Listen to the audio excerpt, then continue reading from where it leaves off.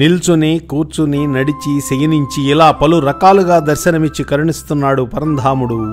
భూదేవి ఆమె పెంపుడు తండ్రి అయిన మార్కండేయుడు నమస్కరిస్తున్నట్లుగా ఉన్న తమిళనాడులోని ఉప్పిలియప్పన్న ఆలయంలో స్వామి నిలుచుని ఉండి సేవలందుకుంటున్నాడు. అలా నిలుచుని ఉంటే నీ పాదాలు ఎంత నొప్పు పెడతాయో కదా అని ఓ భక్తుడు వేదన చెందితే అతని వేదన తీర్చేందుక అన్నట్లుగా పలు ఆలయాలలో పలు విధాలుగా కొలువు తీరి భక్తులకు దర్శనమిస్తున్నాడు కేశవుడు.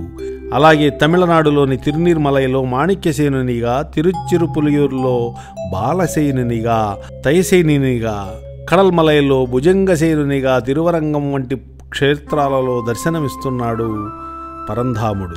అష్టాంగ విమానంతో కూడిన మందిరంలో అనుగ్రహిస్తున్నవాడిగా ఉత్తరమేరూరు తిరుగోష్ఠియూరు వంటి పుణ్యక్షేత్రాలలో దర్శనమిచ్చే పెరుమాళ్ళు చిరునవ్వు చిందిస్తూ ఆసీనుడై పూజలందుకునే దృశ్యం మనకు మధురలో కనిపిస్తోంది. ఈ విధంగా పలు ప్రదేశాలలో పలు నామధేయాలతో కొలువు తీరి ఉన్న పరంధాముని చెన్నరాయ పెరుమాళ్ళు అనే దివ్యనామంతో మనం పూజించుకునే క్షేత్రం కోరమంగళ. అతి ప్రాచీనమైన రాజేంద్ర చోళుని కాలానికి చెందిన ఆలయం అని ఇక్కడ వివరాలు తెలియజేస్తున్నాయి.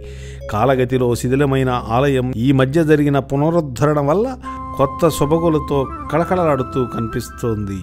కొత్త కొత్త ఆలయాలు నిర్మించడం కన్నా ప్రాచీన కాలపు ఆలయాలకు ఈ విధంగా పునరుద్ధరణ జరిపించడం చాలా అవసరం. అందువల్ల రెండు రకాలుగా ఉపయోగం. ఒకటి ఆలయం యొక్క ప్రాచీనత దానికి సంబంధించిన చారిత్రక వివరాలు సంరక్షించబడతాయి. మరో ప్రయోజనం ఆ ప్రాంతంలో నివసించే ప్రజలందరూ మరొక్కసారి ఒకరితో ఒకరు కలిసిమెలిసి ఉండడానికి ఐకమత్యంగా నడుచుకోవడానికి అవకాశం ఏర్పడుతుంది. ఈ విధంగా చూస్తే పునరుద్ధరణ గావించబడిన ఆలయం ముఖ్యత్వాన్ని పొందింది కేరళ పద్ధతిలో నిర్మించబడింది ఈ ఆలయం. రంగురంగుల శిల్పాలతో ఆకర్షించే రాజగోపురం వంటి నిర్మాణాలు లేకపోయినా నిరాడంబరంగా కనిపిస్తున్న ముఖద్వారం ఆకట్టుకుంటోంది. ఆలయ ప్రవేశ ద్వారం లోపల అరటి చెట్లు నాటబడి ఉన్నాయి. ఈ ఆలయం అంతటా ఉత్సవానికి సంబంధించిన ఉత్సాహం కనిపిస్తోంది. పూల దండలతోనూ తోరణాలతోనూ అందంగా అలంకరించబడి కన్నుల పండుగగా ఉంది. పసుపు తెలుపు ఎరుపు రంగులలో ఉన్న పువ్వులతో ఆకులను కూడా కలిపి కట్టడం వల్ల పచ్చ రంగు కూడా కలిపి ఈ అలంకారం మనసులను దోచుకుంటుంది. ఎత్తుగా నిలిచి ఉంది దీపస్తంభం. దాని ముందు కొలువై ఉన్నాడు విఘ్నేశ్వరుడు. చందనాలంకారంతో మనల్ని ఆకట్టుకుంటున్నాడు గణపతి.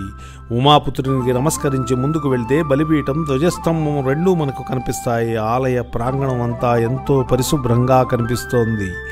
భక్తులు ప్రదక్షిణలు చేస్తున్నారు.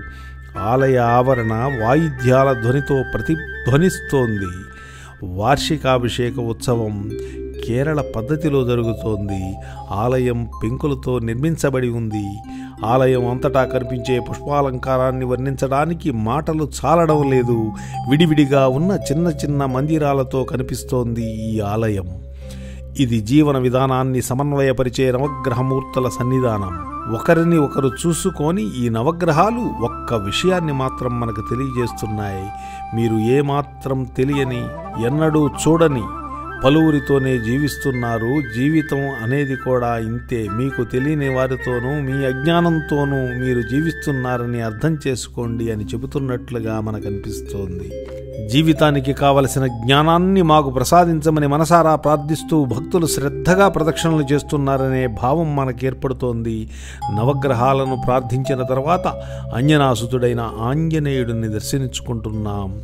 నిలుచుని ఉన్న భంగిమలో కుడి చేతిని అభయహస్తంగా ఉంచి ఎడమ చేతితో పర్వతాన్ని మోస్తూ దర్శనమిస్తున్నాడు వాయుపుత్రుడు.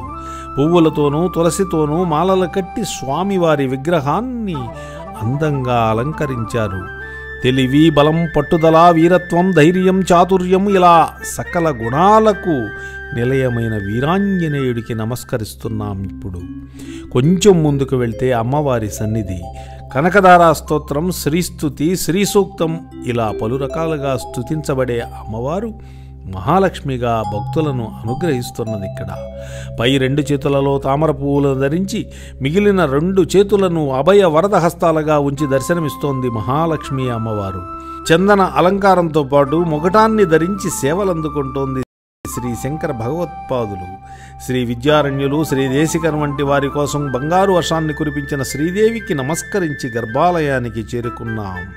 అందంగా నుంచొని పూలమాలలతో అలంకరించబడి పూజలు అందుకుంటున్నాడు చెన్నరాయ పెరుమాళ్ళు.